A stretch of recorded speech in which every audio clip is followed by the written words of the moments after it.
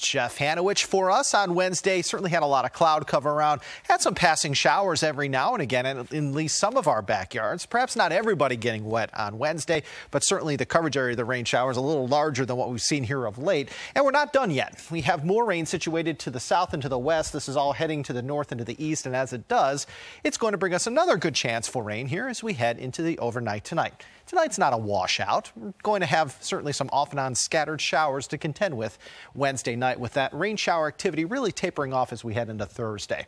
So for this evening, we are going to have some passing showers possible. We're pretty warm.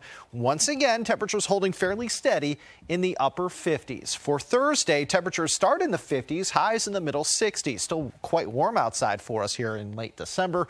Going to start out the day mainly cloudy with maybe some lingering showers through maybe lunchtime, but as we head into the afternoon, I think the trend will be for us to dry things out and perhaps even see a little more sunshine as the day progresses. Now, I still can't rule out a stray shower late Thursday afternoon, but I think the skies may get a little bit brighter as the day goes on on Thursday. What we're tracking here, well, the warmth stays with us through Saturday.